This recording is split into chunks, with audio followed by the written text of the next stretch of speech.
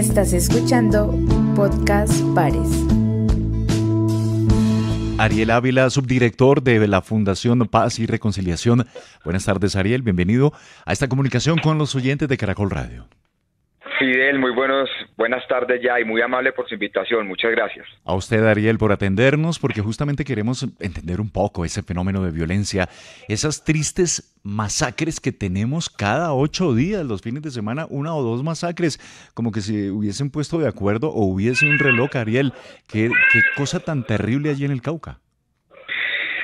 Fidel, mire, el tema que tenemos en el Cauca es que hay una, hay tres guerras, hay una disputa en el norte muy dura entre esa la de Goberto Ramos de la disidencia de las FARC, pero hay un grupo que llaman eh, los Pelusos, el EPL, eh, y hay otros dos grupos de narcotraficantes ahí, por tanto, eh, digamos, en, esa, en esa zona por lo menos quedan seis o siete meses más de disputa otra al sur, que es lo que pasó en Argelia, Cauca, con la masacre de hace unos 10 días, eh, disputa de cuatro grupos, y otra en el Pacífico colombiano. Entonces Cauca se está desangrando en un posconflicto que nosotros lo llamamos como un empate técnico negativo. Ninguno de los grupos que hay es, es lo suficientemente fuerte para cooptar al resto.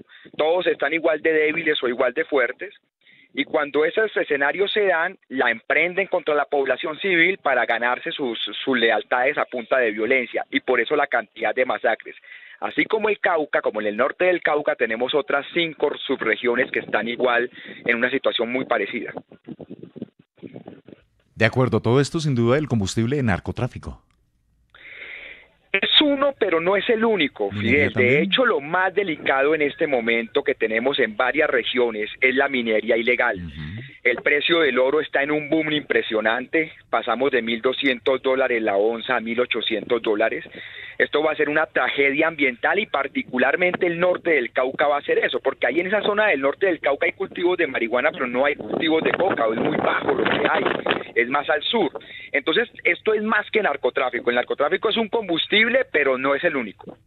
De acuerdo. Ariel, ¿Por qué esa ausencia de Estado? Entiendo, hay también presencia de la fuerza pública, policía, ejército, muchos resguardos. Es una zona compleja de entender.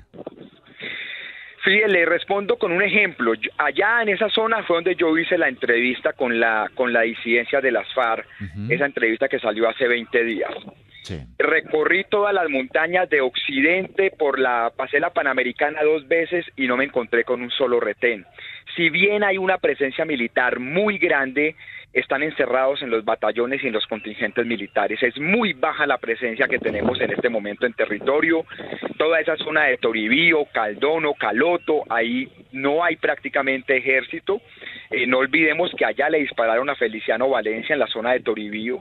En la, por el otro lado, lo que más es Suárez, etcétera, es, exactamente lo mismo. Sobre el papel hay mucho militar, pero están encerrados en los, en, en los cantones y batallones. Es muy baja la presencia afuera. De acuerdo. ¿Qué respuesta debe haber por parte del gobierno y también otro ítem, la implementación de los acuerdos en esa región? Fidel, mire, ya no hay soluciones milagrosas. Hay unos 130 municipios que están en una disputa de este empate técnico negativo y cosas milagrosas no va a haber. Lo que nosotros le hemos pedido al gobierno es que se prepare para el otro año, porque el otro año, que es un año preelectoral, va a ser muy violento. Eh, por el tema de minería ilegal, por los temas de narcotráfico, eh, por ser año preelectoral, por los temas de implementación de acuerdos, los líderes ambientales los van a seguir asesinando.